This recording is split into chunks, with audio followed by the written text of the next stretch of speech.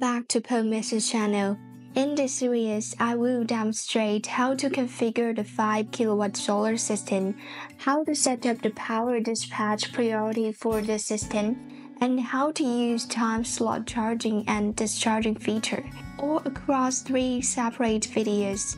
Without further ado, let's get started. The 5 kilowatt system utilizes a POW-SunSmart SP5K all-in-one solar inverter. This inverter can both invert solar power to supply loads and support grid bypass for loads power supply. It allows for solar charging as well as grid charging, and it enables you to define the priority of using solar, grid, and battery power to supply loads, based on your needs and specific usage scenarios. Additionally, it allows you to prioritize between solar and grid power for charging the battery. The inverter must be connected to the battery, photovoltaic array, AC input power, and AC outlet. In the setup, We've connected a 51.2 volt 100 amp hour lithium iron phosphate battery, which is one module of the PO LIO 51460S lithium iron phosphate stackable battery. If you are using lead acid batteries or lithium batteries without built-in power switches, you will need a 200 ampere DC circuit breaker for the battery line to ensure safe switching during the process. The AC input is connected to a transformer that simulates grid power, converting 230 volt to 120 volt. For users whose local grid voltage is 110 volt or 120 volt, you can directly connect to the grid. Alternatively, a 110 volt or 120 volt generator can be used as the AC input power source. A 63 ampere AC circuit breaker must be installed between the grid input and inverter. For the AC output line, we've connected a power outline to simulate typical household electrical loads.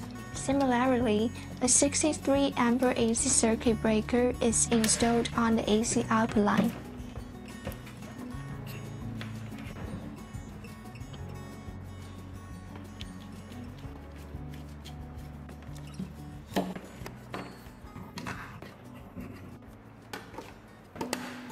To simulate PV input for the demonstration, we've used a programmable power supply, which will allow us to showcase status of sufficient and insufficient solar power later on. This inverter can be configured with a maximum PV array rated at 500 volts and 22 ampere. Once the main four lines are configured, the wiring setup for solar system is essentially complete. Next, close the battery line, switch on the rocker switch at the bottom of the inverter, and wait for the inverter to start up normally.